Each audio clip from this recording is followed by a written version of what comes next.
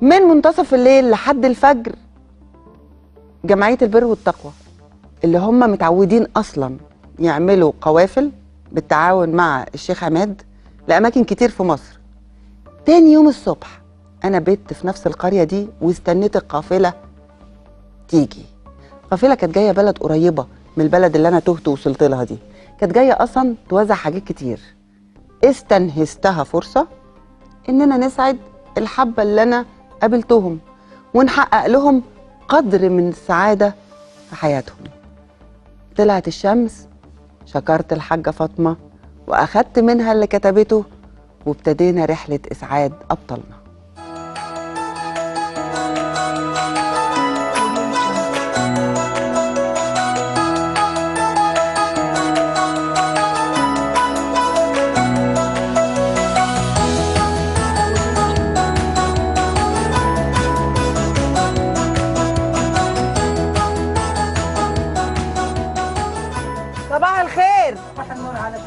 ازيك الله يخليك.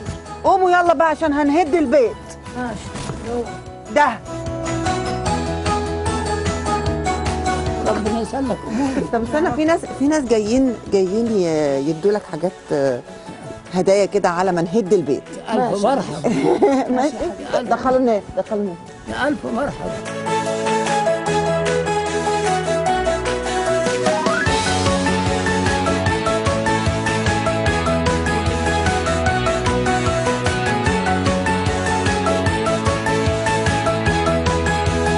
مبسوط؟ ينجيكم ربنا من كل وحش.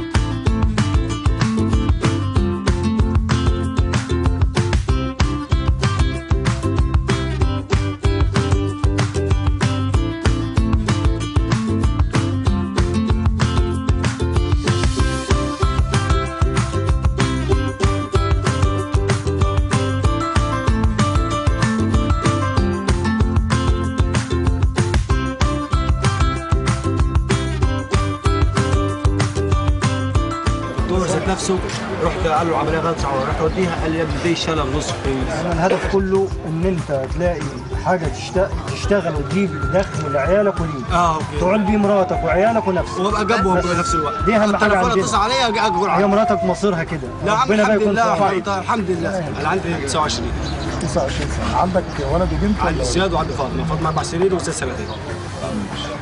قال لي يعني الليلة طالبه عاوز حاجة أكل عليها عيش.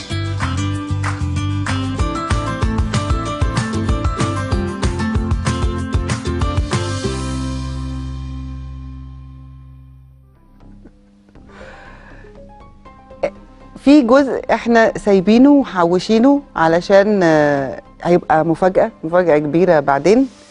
فاستحملونا كده شوية معلش تكة صبر علينا عشان نعرف نوريكم لأن الحاجات اللي إحنا عايزين نعملها هتاخد شوية وقت. وإحنا كنا مستعجلين لطلوع الحلقة وال... عشان نصور حلقات تانية وبعد كده آخر الشهر نوريكم حال الناس دي بقى إيه. من يوم ما انتباه ابتدى والناس كانت دايما تسألنا على طريقة يشاركوا بيها معانا في إسعاد أبطالنا. ما كانش عندنا أي طريقة.